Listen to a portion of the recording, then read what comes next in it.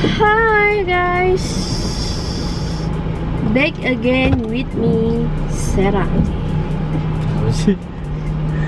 Kembali lagi bersama Abil masih. Cantik, imut dan mengemaskan sekali. Jadi teman-teman, kali ini kita bakal ngobrol-ngobrol aja nih. Ngobrol-ngobrol. Ngobrol apa? Ngobrol tentang kasus novel Baswedan. Pak Novel. Oh, Jadi kan ini kan sangat-sangat kontroversi. Eh, apa eh, kasusnya ini? Kalau menurut aku ya, dari pandangan orang awam ya teman-teman ya, nggak tahu menurut kalian. Kalau menurut aku aneh aja gitu, janggal gitu. namanya? janggal ya orangnya apa mencederai yang pasti itu berencana nggak mungkin tiba-tiba subuh subuh ujuk-ujuk pengen ah pengen nyiram orang ini ah pengen nyiram orang air keras ah nggak mungkin kan pasti kan terencana satu. Yang kedua menyebabkan cedera fatal yang permanen itu matanya matanya Pak Novel ya kan? Ketiga yang lebih janggal lagi hukuman cuma setahun. Yang mana? Di artikel ya. Di artikel aku banyak nih ngumpulin artikel. Orang yang cuman maling itu hukuman lima tahun. Hmm. itu maling. Nggak ngelukain orang ngambil barang gitu. Lima tahun ada lagi yang baru-baru ini? Demo anti ras- rasisme aku Oh, lupa iya, namanya iya, siapa. iya, iya. demo anti rasisme Yang orang timur ya? ya orang timur. Itu dihukum lebih dari 10 tahun ancamannya. Oh ya. lebih dari 10 tahun ancamannya. Itu demo anti rasisme menurut kamu gimana kasus Pak Novel ini? Menurut kamu kita pandangan awal orang awam nih. Hmm. pandangan orang awam. Masuk akal nggak sih gitu hukuman cuma setahun gitu? Kalau Abil sebenarnya kan awalnya kan nggak emang nggak ngikutin berita yang terbaru ini. Cuman taunya itu waktu ada si bintang Emon. Hmm. Waktu itu baru Abil buka. Nah pas dia sebut cuman satu tahun penjara, Abil langsung shock. Untuk ukuran kasus ini bukan bukan kasus ecek-ecek kayak iya nyiram air nggak sengaja. Ini mah Iya. nyiram air keras. Dari judulnya keras gitu air keras kan. Udah pasti kekerasan. Bener. menyebabkan kebutaan Heeh. Sa- bayangin aja lah orang-orang anak kecil juga bisa bedain mana mata normal, mana mata yang udah udah rusak udah rusak gitu loh. Abil pribadi nih ya, Hmm. sebagai orang yang nggak ngerti hukum aja gitu kayaknya ini nggak adil banget gitu Nggak untuk setimpal, Pak kan? Pak Novel Baswedan ini bener-bener nggak adil banget gitu.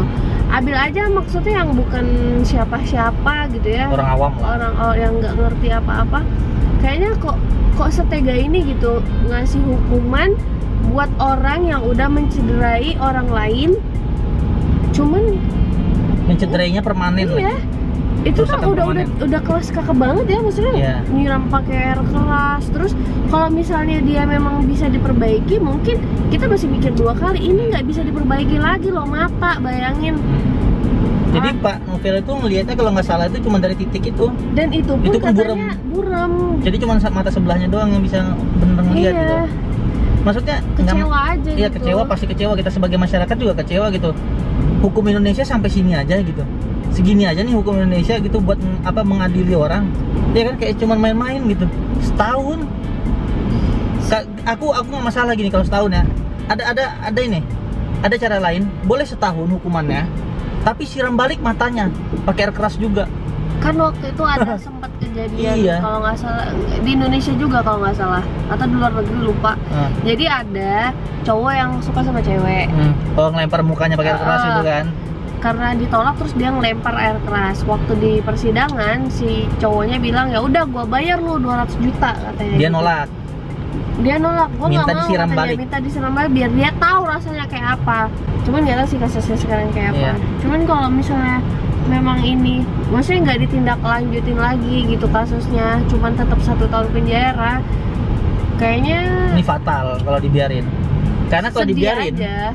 bukan sedihnya karena kalau dibiarin ini bakal banyak yang kayak gini lagi ulang lagi. Ya pasti banyak orang yang ah gue mau gue dendam sama dia. Gue siram apa air air keras mukanya paling juga setahun kan bisa bilang nggak sengaja ya kan?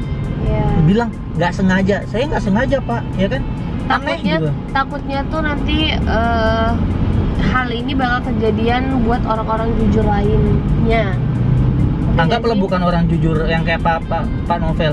Orang biasa pun bisa jadi korban nanti ujung-ujungnya. Iya. orang biasa yang misalkan cuma dendam biasa marah tersinggung siram aja. Toh nanti bisa bilang ah nggak sengaja hukum Indonesia kan bisa dibilang nggak sengaja. Nanti kalau bunuh orang eh aku nggak sengaja bunuh orang. Iya. bisa bisa ringan kok. Asal bilang nggak sengaja kan aneh hukum Indonesia jadinya. Nggak tahu menurut kalian teman-teman yang menurut aku sama Abil sih ini aneh gitu. Terus ini lagi yang lebih yang lebih aneh lagi ini. Bintang Emon yang tadi Abil bilang. Bintang Emon itu kan mengkritik lewat komedi lewat komedi. Dan ternyata bintang Emon dimatiin tau nggak kamu Maksudnya? jadi dituduh pakai narkoba gara-gara Oh, bikin iya. itu dituduh pakai narkoba dibilang dia nyabu atau apalah Oh iya, itu lucu sih. hey please Oh. bintang Emon itu cuma menyuarakan kita kan memang berhak berbicara kan berhak berpendapat kan bebas berpendapat dia cuma mengkritik apa yang menurut dia salah gitu dia cuma membenarkan karena kalau hukum Indonesia kayak gini aduh miris sekali Indonesia ini teman-teman Sebenarnya gini sih, eh, kalau menurut Abil pasti ada oknum-oknum yang pasti bekerja sama. Nggak tahu ya Abil juga. pasti Soalnya ini ini bener-bener apa ya? Bener-bener nggak nggak nggak masuk di akal gitu loh untuk untuk sesuatu perbuatan yang yang udah jahat banget gitu ibarat kasarnya tuh jahat banget lu jahat banget gitu terus lu cuman cuman dihukum ibarat cuman eh nah cuman gitu doang. Udah dicari pelakunya tiga tahun. Iya dapat dapat eh cuma dibilang nggak sengaja dihukum cuma setahun. Ih wow. Sedih saya dengernya. Aneh hukum Indonesia ini lama-lama. Abil kasihannya sama Pak Novel sih. Maksudnya Iya, dia udah bertahun-tahun berjuang gitu ya sampai ngerti lah Iya. berapa kali gitu kan dia dia kelihatan kayak kayak lagi survive biar biar orang tahu gitu orang itu siapa yang udah nyelakain dia gitu. Kok sampai setega itu gitu orang tuh beres sholat Jumat terus bukan soal Jumat eh sholat subuh. Jumat sholat subuh terus lu lempar pakai air keras. Logikanya ngapain lu bangun subuh subuh benar kata bintang Emon tuh benar ngapain lu sengaja bangun subuh cuman buat nyiram air keras ke orang secara tidak sengaja ngapain banget. Cuma segini aja nih hukum Indonesia. Cuma segini aja. Kasihan gitu.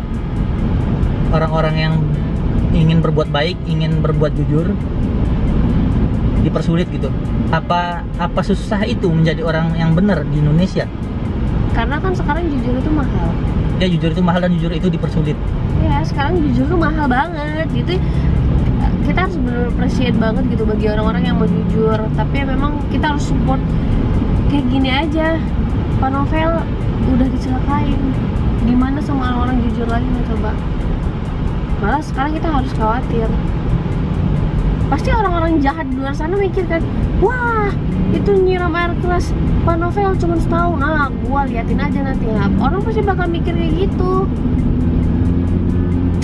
sebenarnya tindakan ini sih sebenarnya sebenarnya ke Pak Novel itu itu se- sebagai bentuk ancaman sebenarnya ke orang-orang lain yang Iya. jujur. Hmm. Jadi orang-orang yang oknum ini yang melakukan ini merasa kalau dia melakukan itu orang-orang yang lain tuh bakal takut untuk berbuat jujur atau berbuat baik gitu. Ya, jadi mikir dua kali. Awas lu ya kalau misalnya lu jujur lah, gua Gua siram. siram air keras lu nah gitu.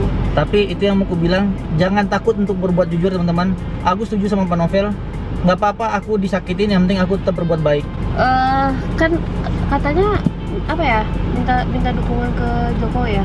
Ke Bapak Jokowi. susah juga sih kalau minta minta bantuan udah dari zaman dulu dari zaman dulu kan udah dibilang kata Pak Jokowi bakal diprioritas Diprioritas. prioritaskan tapi ujung-ujungnya nggak juga nyatanya kan udah dibentuk buat apa tim buat eh, ngusut ini juga nyatanya nggak Iya ini ya. juga lama juga Eh gitu kan sempat itu dibahas. terus ada juga eh, sketsa wajah pelaku sama pelaku yang tertangkap itu beda.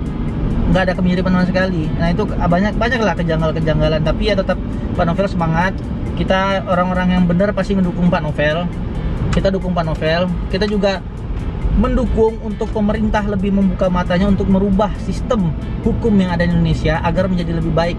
Karena kalau begini apa hukum Indonesia wah kacau Sebenarnya mungkin sistemnya sudah bagus ya, tapi oknum di dalamnya itu loh.